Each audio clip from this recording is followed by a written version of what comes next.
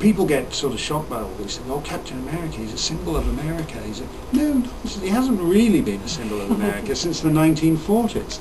It, back when he, Hitler. yeah, back when he was fighting Hitler. When you look at those 1940s covers, and he's uh, and he's actually sort of kicking Axis butt. he's unambiguously American.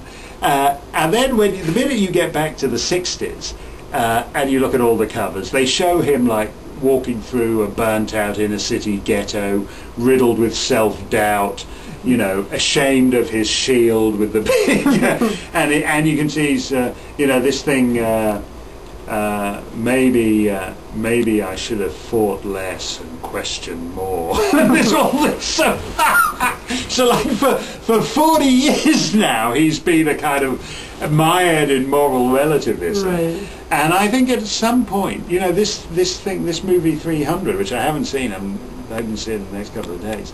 But I think one of the reasons it's done so well is just because there is a actually a tremendous market for films in which like those old stories, uh, you do just go out and unambiguously uh, wump the bad guys. And so it's not even a commercial decision Hollywood's making. Hollywood